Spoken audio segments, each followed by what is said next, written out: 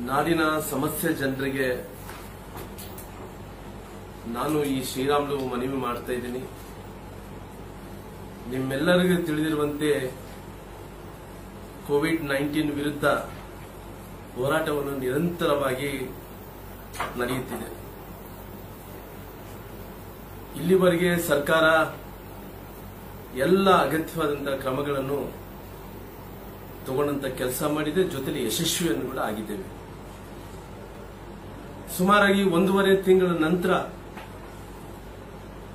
ಇವತ್ತು ಲಾಕ್ಡೌನ್ ಸಡಿಲಿಕೆ ಆಗಿದೆ. ಈ ಲಾಕ್ಡೌನ್ ಸಡಿಲಿಕೆ ಆದ ನಂತರ ಏನು ಕೋವಿಡ್ ನೈನ್ಟೀನ್ ಸೋಂಕು ಜಾಸ್ತಿ ಆಗುವಂತ ಒಂದು ಪ್ರ- ಪ್ರಮಾಣದಲ್ಲಿ ಇರಬಹುದು ಇವತ್ತು ನಿಜವಾದಂತಹ ಹೋರಾಟ ಪ್ರಾರಂಭವಾಗುತ್ತೆ. ನಾವೆಲ್ಲರೂ ಕೂಡ ಎಚ್ಚರಿಕೆಯಿಂದ ಇರಬೇಕಾಗುತ್ತೆ. ಇಷ್ಟು ದಿನಗಳ ಕಾಲ ನೀವು ಲಾಕ್ಡೌನ್ ಆದಂತ ಟೈಮಲ್ಲಿ ಸೋಷಿಯಲ್ ಡಿಸ್ಟೆನ್ಸ್ ಅನ್ನು ಮೇಂಟೈನ್ ಮಾಡಿದ್ರಿ. ಪ್ರತಿಯೊಬ್ಬರು ಕೂಡ ಸ್ವಚ್ಛತೆಯನ್ನು ಕಾಪಾಡಿಕೊಂಡ್ರಿ. ನಾವೇನು ರಾಜ್ಯ ಸರ್ಕಾರ ಕೊಟ್ಟಂತ ಗೈಡ್ಲೈನ್ಸ್ ಆಗಿರ್ಬೋದು, ಅದೇ ರೀತಿಯಲ್ಲಿ ಕೇಂದ್ರ ಸರ್ಕಾರ ಕೊಟ್ಟಂತ ಗೈಡ್ಲೈನ್ಸ್ ಆಗಿರ್ಬೋದು, ಎಲ್ಲರೂ ಕೂಡ ಪಾಲಿಸಂತ ಕೆಲಸ ಮಾಡಿದ್ರಿ. ಅದಕ್ಕೋಸ್ಕರ ಈ ಹಿನ್ನೆಲೆಯಲ್ಲಿ ನಾನೊಬ್ಬ ಆರೋಗ್ಯ ಸಚಿವನಾಗಿ ನಿಮ್ಮೆಲ್ಲರಲ್ಲಿ ಕೂಡ ನಾನು ಸ್ಪಷ್ಟಪಡಿಸೋದು ಇಷ್ಟೇ.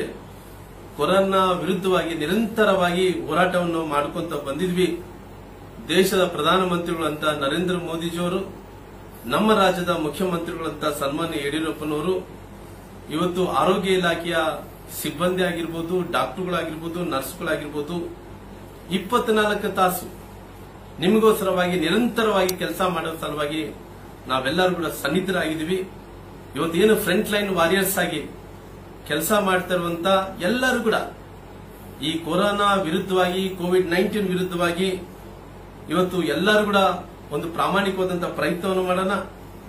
ಅದಕ್ಕೋಸ್ಕರವಾಗಿ ನಿಮ್ಮೆಲ್ಲರೂ ಕೂಡ ನಾನು ವಿನಂತಿ ಮಾಡ್ಕೊಂತ ಇದ್ದೀನಿ.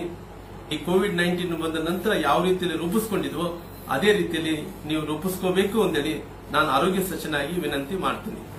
ಡಾಕ್ಟರ್ಗಳಿಗೆ, ನಂತರ ನರ್ಸುಗಳಿಗೆ ಸಿಬ್ಬಂದಿಯವರಿಗೆ ನಂತರ ಆಶಾ ಕಾರ್ಯಕರ್ತರಿಗೆ, ಅಂಗನವಾಡಿ ಕಾರ್ಯಕರ್ತರಿಗೆ ಡಿಸ್ಟಿಕ್ ಅಡ್ಮಿನಿಸ್ಟ್ರೇಷನ್ಗೆ, ಸರ್ಕಾರಿ ನೌಕರಸ್ಥರಿಗೆ ಪೊಲೀಸರಿಗೆ, ಇವತ್ತು ಈ ರಾಜ್ಯದಲ್ಲಿದ್ದಂತ ಎಲ್ಲರೂ ಸಾಕಷ್ಟು ಈ ಕೋವಿಡ್ ನೈನ್ಟೀನ್ ಅಲ್ಲಿ ಏನು ಈ ಫ್ರಂಟ್ ಲೈನ್ ವಾರಿಯರ್ಸ್ ಆಗಿ ಕೆಲಸ ಮಾಡಿದಂತ ಎಲ್ಲರೂ ಕೂಡ ಅವ್ರಿಗೆ ನನ್ನ ನನ್ನ ಪರವಾಗಿ ಅವರೆಲ್ಲರೂ ಕೂಡ ಸೆಲ್ಯೂಟ್ ಅನ್ನು ಕೂಡ ಮಾಡ್ತೀನಿ